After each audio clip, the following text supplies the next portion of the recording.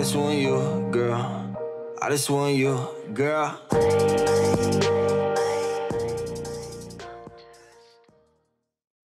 Hola 아토입니다 오늘은 리뷰는 아닙니다 리뷰는 아니고 프리뷰입니다 프리뷰 1인 미디어가 대세로 자리를 잡아감에 따라서 다양한 영상 소스들을 PC에서 처리할 수 있게 도와주는 캡처 보드는 음, 일전에 비해서는 굉장히 수요가 많이 늘어났다고 볼 수가 있습니다.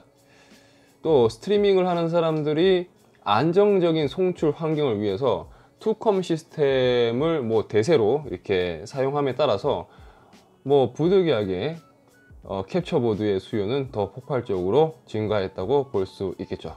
하지만 이런 상황에서 기술은 어, 점점 더 발전을 하고 기존의 주 어, 영상 소스의 포맷이었던 1080p 어, FHD라고 불리는 이 해상도의 어, 영상 소스 못지않게 최근에는 4K 뭐 보통 이 2160p죠.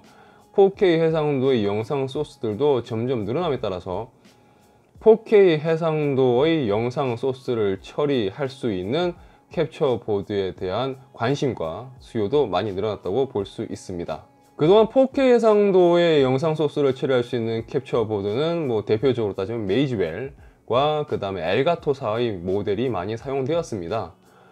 메이지웰 같은 경우는 어, 가격이 상당해요. 어, 일단 100만원이 훌쩍 넘어가고 뭐 스펙까지 감안해서 생각해 본다면 뭐 그다지.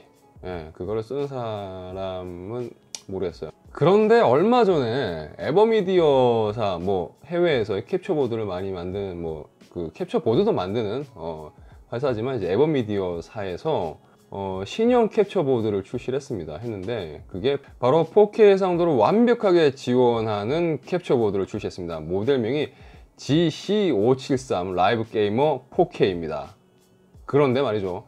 가격이 가격이 299달러입니다 300달러가 되지 않는 가격으로 출시를 했어요. 제가 이 모델을 주목할 수밖에 없었던 이유는 4K 영상을 캡처할 수 있는 캡처 보드로서 아마 최초지 않을까 싶어요. 300달러 미만의 가격대로 출시된 거는 그게 정말 컸습니다. 그런데 가격만 저렴하냐? 아니죠.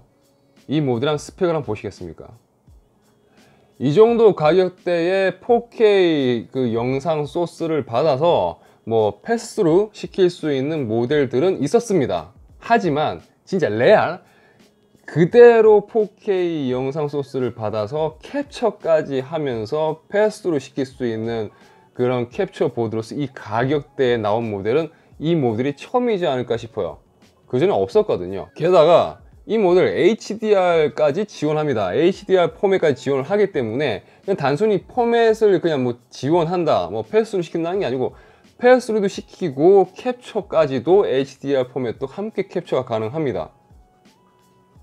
현재까지 쓰던 4K 그 캡처 보드에서도 이 정도 스펙을 지원해주는 모델은 없었습니다 4K 캡처 보드를 사용하는 또 다른 이유가 뭐냐면 이 모델은 스트리밍을 하는 사람들에게도 굉장히 매력적인 요소를 가지고 있습니다. 바로 무엇이냐면 PC를 주로 사용하는 사람들이 가장 많이 사용할 법한 해상도 1440p 해상도도 지원을 한다는 거죠. 스트리밍을 하는 분들한테는 이게 굉장히 큽니다. 왜냐하면 기존에 게임컴에서 송출컴, 투컴 시스템을 갖추고 방송을 하는 사람들 입장에서는 송출컴에서 그 장착되어 있는 캡처보드가 보통 1080p FHD 해상도를 지원하는 캡처보드를 많이 사용합니다. 그러다 보니까 게임컴에서도 FHD 해상도 이상으로는 영상 신호를 보내지 못했다는 거죠.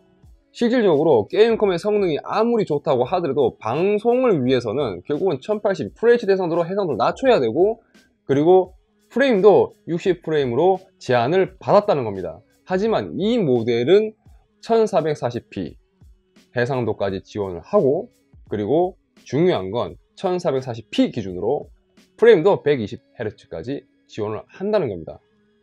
결국은 기존 게임컴의 성능을 최소한 1440의 해상도에 120프레임까지 뽑아낼 수 있는 환경으로 방송을 할 수 있다는 거죠. 이거는 굉장히 큰 메리트라고 생각됩니다.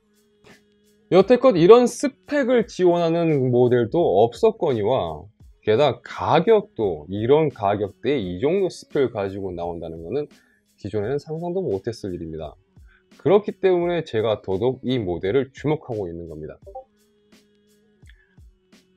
이제 남은 거는 과연 이 녀석의 실제 성능이 어떨지 정말 궁금합니다. 오늘 영상은 여기까지입니다. 뭐 프리뷰다 보니까 뭐 크게 얘기 뭐 길게 할 건 없는 것 같습니다. 어쨌든 이런 모델도 있다라는 거를 제가 뭐 말씀드리고 소개시켜 드리는 그런 거라고 생각하시면 될 것 같습니다. 지금까지 아토였습니다. 감사합니다. 아 이게 시작이면 이제 다른 회사에서도 이제 모델들 새로운 모델들 신형 내놔야지. 음. 아 근데 진짜 성능이 궁금하네. 스펙만큼 성능이 나올까?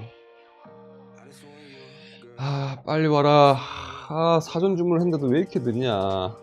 빨리 와야지. 궁금하네.